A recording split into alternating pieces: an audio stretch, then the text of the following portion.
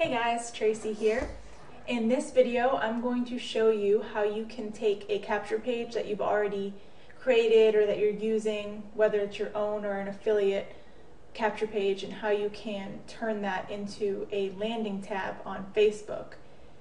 And we like this because we do a lot of Facebook PPC, so you know we drive a lot of traffic to to our fan page.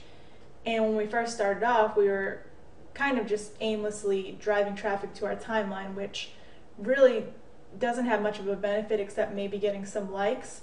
But in this case, when you create a capture page as a landing tab, then you're able to actually pretty much get the potential for double leads. And what I mean by that is when someone lands on this page, you can see they're still in Facebook, they're still on your fan page, but they're seeing a capture page just as they would on a separate website. And so when they come here, they can decide, you know, oh, this looks, you know, this looks like something I'm interested in, and they can fill it, fill in their info and opt in, and boom, they're on your list.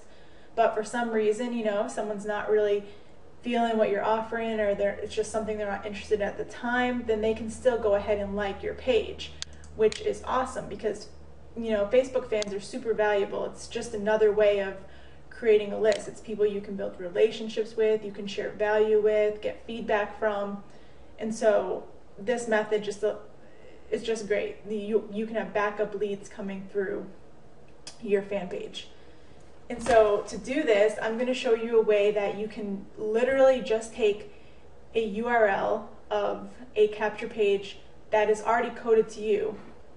Here's one. Here's the one that that I was just showing you. I'm going to show you how I install it. But basically, this is one of our websites, one of our capture pages. So when they fill this in, this is already coded to our email list. So you, it's really important if you use this technique, you have to make sure that whatever page you're using is already coded to you. Because in this example, I'm not going in and showing you HTML coding and how to change all that. This is simply to take a capture page that's already for you for your business and install that onto your Facebook fan page. And so let's go ahead and start that. The first thing that you need to do is download an HTML app and you just go up to the search bar, type in HTML, search, then we're going to go down and click apps. And honestly, we, we are loving this first one. It's really easy to use and I think you can have up to 10 tabs. So you can ultimately have 10 capture pages on your one fan page, which is great for split testing or if you're in, you know, multiple opportunities and you want to be able to drive traffic to each of those things individually. Whatever your situation, you can have up to 10, 10 landing tabs for this. So that's super awesome. Um, so what you're going to do is go ahead and click go to app and it will start the install process. It's step by step. They walk you through everything. So once you do that, we're going to go back to ours because we already have it installed. And this right here is using that app that I just showed you. So we're going to click on that. Oh, and before I go, actually before I go into that, when you install it, you should see it in one of these boxes down here. It will look something like this. If for some reason you don't see it here, just go ahead and click the plus sign on one of these other boxes and you should see the app down here. So you're just going to go ahead and click it, whichever one it is, and it will pull it up in one of these boxes. And so once you have it in one of these boxes, you're just going to click on that box and it will actually bring you to the settings tab directly, but since I've already created one, I'm just going to go ahead and click settings. And this is what your settings will look like if you, you know, when you're about to create it.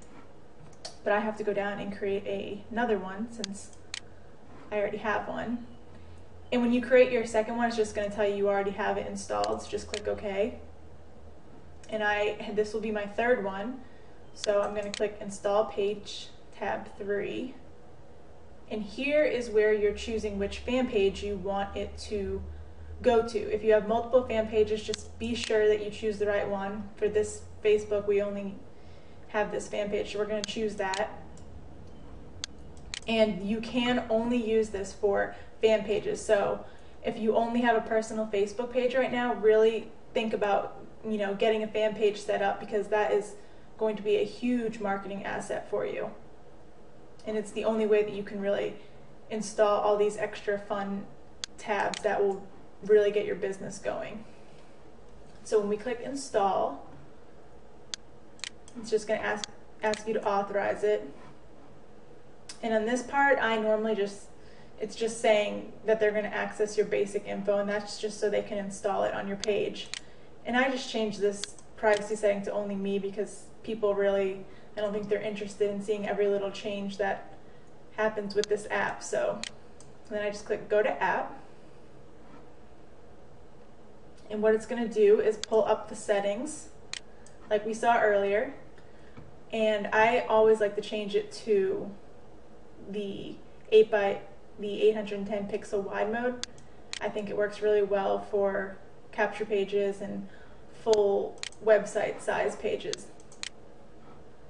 And here you can change the tab image, which is what you see when someone's on your page, what they're going to click on. I'm actually going to get into that into, in another video because it's its own process and it's a little more time consuming. But for now, we're just going to leave that part out. It's not too big of a deal because you can still drive traffic to the capture page without it.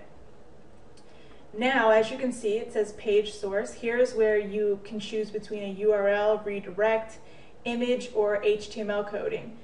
This is what I think is super cool because most cases you can only put in the HTML code here, but with this particular um, app, you can actually click page source URL, and now we're going to go back to that capture page we're going to be using.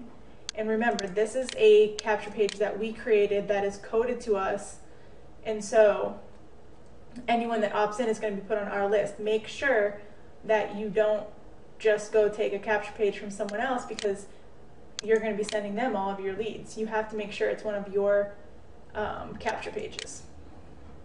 And so here we are back on the app, and we're just going to simply paste in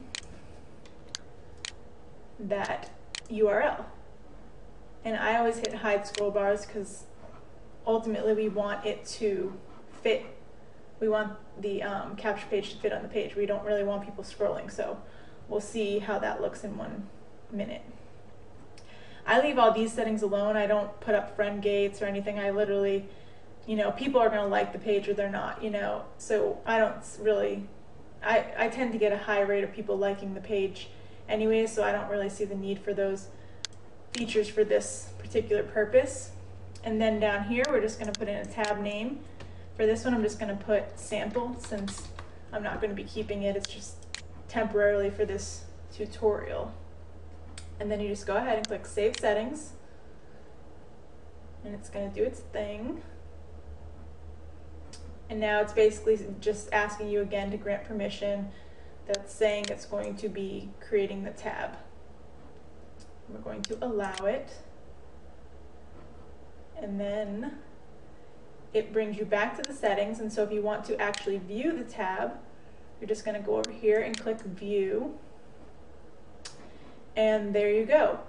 What you see right here, this is just what you see, the admin tab options. You, when people land on this, they will not see that. All they're going to see is your page. So, I mean, how easy was that? This is the original capture page, and now we have it on our Facebook fan page. And so if you run PPC, um, this is where you want to drive people. They're going to be able to opt in, they're going to be able to like your page, and it's just, it's just a great way to, oh, it's just a great way to um, capture leads through your Facebook page. And so I hope this was a useful tutorial for you. If you liked it, please like below or comment or you know share some strategies that you use and I look forward to seeing you on the next video.